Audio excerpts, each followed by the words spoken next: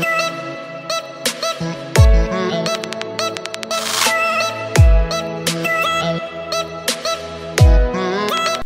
Uni Online TV moja kwa moja kutoka ofisi za UBA United Bank for Africa. Naitwa Chance TZ, lakini pia unaweza download app yetu kwenye YouTube, kwenye Android pale Play Store, andika Uni Online TV ukipakua jinsi utakometisha kinoma noma, lakini pia YouTube andika Uni Online TV exclusive kabisa, gusa kengele utazipata zote kama hizo hapo. Vipi African Day leo, ngoja tupige nao story kadha wa kadha tuweze kujua waragwan what's going on na hasa nini hasa, kwa nini wamevalia mavazi ya Kiafrika.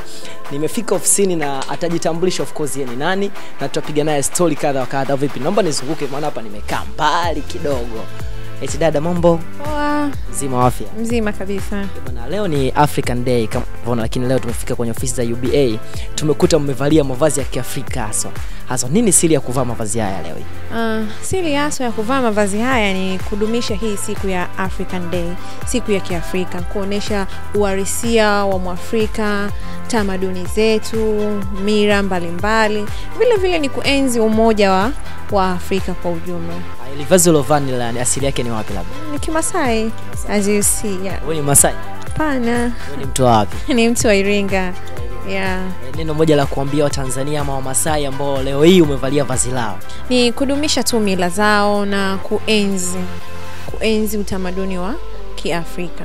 Eh, Kwa Afrika, kwa Tanzania labda naweza nikasema Waafrika ambao wanaziacha tamaduni zao na kufikia tamaduni za kizungu haswa, unadhani ni nini hapa, ni wapi ambapo wanafeli? Ah, tunafeli sana kwa sababu labda niseme utandawazi umetuzidi sana kwao, tunaendelea sana na tamaduni za nje na kusahau tamaduni za Kiafrika. That's why katika siku hii ya tarehe 25 mwezi wa tano, siku ya African, tume, tumeona tuvae mavazi ya Kiafrika, yani tuoneshe uharisia wetu. Unaona hata the way tulivyopamba, kulivyopendeza. Yeah. Upekee ambao tunao Afrika tofauti na nchi nyingine, labda ni upekee wa namna gani ambao unauona wewe ambao tunao Afrika? Mm, vitu vingi tunajivunia mali asili, mbuga za wanyama, vivutio vingi kutoka Afrika. Umetisha kinoma noma, labda kwenye Instagram na Twitter na wapi wapi? Natumia Mami Loro, Mami Loro hashtag.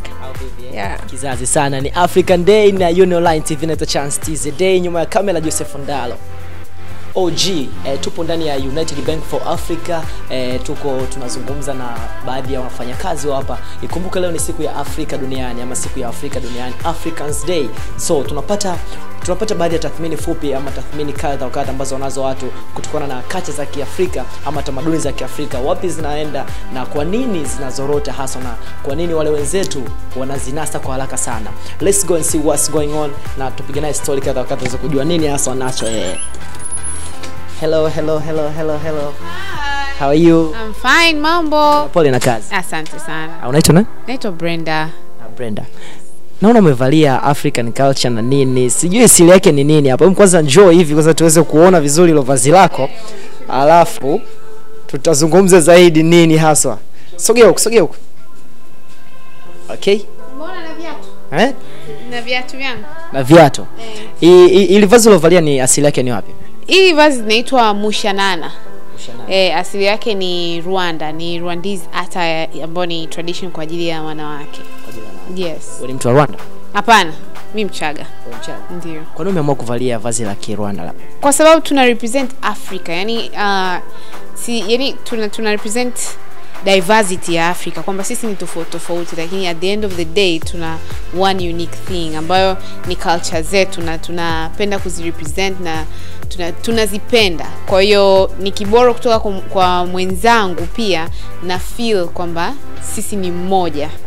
Yes. Eh, ni Afrika kacha za Kiafrika hivi sasa inaonekana zinazorota sana, zinadumaa, yani zinapotea kiujumla. Yeah. Unadhani nini hasa kinatufelisha sana? Ah, kwa sasa hivi nitasingizia mitandao. Kwa sababu mitandao haswa hii mitandao ya kijamii sasa hivi imekuwa too much. Kwa hiyo ina expose zaidi uh, mavazi ambayo yanavalika uh, sana sana nchi za nje tukiongelea sana sana marekani london wapi ambapo tunaona royal families tunaona wa socialites kama kina Kardashian kina nani wamevaa bodycons wamevaa nini na wamependeza lakini wao ndo asili yao unfortunately kwa sababu pia tuna boro sana mavazi yetu yani haya haya hayawi manufactured kutoka Tanzania ama kutoka Afrika, yani hatuna viwanda vingi vya mavazi, tuna boro kutoka nje. Na in that fact tukibora kutoka nje wale wanatengeneza, wanatengeneza kulingana na uelewa wao na culture yao. Kwa hiyo inabidi tununue vile ambavyo viko tayari kutoka kwa wenzetu. Kwa hiyo hapa vinakuwa havitutoshi. Eh, na unadhani hasa nini kifanyike ili kuweza kuzirudisha zile tamaduni za kiafrika? Ni watu ku, ku appreciate kupenda culture na kuwa na ile enterprise mind kwamba kujitwika katika ujasiriamali wa kuvitengeneza zaidi. Lakini pia tunaona wajasiriamali wengi sana wakifanya um, um, uuzaji wa hizi hata ya utengenezaji. Lakini mwamko wa watu kuvaa unakuwa mdogo. Na pia labda inaweza ikawa ni changamoto ya upatikanaji wa hizi bidhaa pia. Lakini tujitahidi tuendelee kusukumana na pia kwenye familia kutoka kwenye ngazi ya familia. Ukimzoesha mtoto kuwa anavaa kiafrika toka akiwa mdogo akiwa mkubwa hawezi kusahau. Tuchukue jamii ya kimasai. Masai sio rahisi asahau culture yake. Ni kwa sababu toka akiwa mdogo anakuzwa na ile culture unadhani wamasai tu ndo wanaweza kudumisha kacha zao kuna makabila mengine yamejificha ndani na wenyewe wanadumisha mila zao lakini hawaonekani It's true, it's true. Uh, ni, ni, ni makabila mengi ambayo yanadumisha mila mpaka leo hii lakini uh, hawajulikani au hawatambulikani labda kwa sababu akishatoka kwenye ile jamii akija kwenye jamii zetu ambako tumechanganyikana haji na asilia yake. Lakini masai atatoka arusha atakuja dar es salaam bado atavaa nguo zake zile zile. It doesn't matter. Kwani- lakini ni kwanza. Kwani amnaga vazi rasmi la kichaga?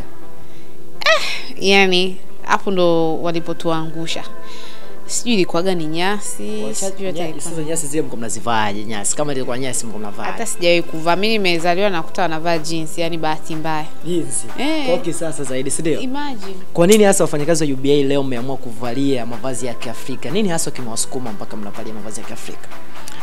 Okay sisi tuna celebrate africa day. Africa day historia yake inatokana na um, uh, oau kama unaikumbuka Yeah. ambapo ni umoja wa mataifa ya kiafrika yaliungana. Uh, na inakuwa celebrated kila tarehe 25 ya mwezi wa tano. Lakini unfortunately kwa sababu inaangukia saturday ambayo ni kesho tukaamua tufanya day before. Na kila mwaka huwa tuna celebrate africa day. Benki ya uba ni kirefu chake ni united bank for africa. Kwa hiyo ina unite africans katika nyanja tofauti tofauti kabila cultures tofauti tofauti na kuwaleta pamoja kuwahudumia wa afrika katika goal moja. Na ni kuonyesha unity katika diversity mbalimbali uh, kukuza maendeleo ya waafrika kuwa proud ya ku, yani ya mtu awe proud ku own culture yake kuishowcase unaona kukumbuka roots na kuwa ku, ku, uh, kujenga kwa ajili ya baadaye. Kwa mfano leo hii watu wengi ukizunguka utaona watu wengi wamevalia asili mbalimbali and unakuta watu wanapiga picha na wenzao. Sasa ile inawakumbusha mbali lakini at the end of the day inawafanya watake kufanya more for their culture. Wat, wawe proud watembee wamshawishi pia rafiki mdogo wake mama yake naye aweze kuvaa vile na kuweza ku kwa more african. Yes. wanazungumza na afrika kuelekea siku yao ya african day wambie neno moja ambalo ungeishi kuambia waafrika. Be proud to be african. It's the best thing that god has given you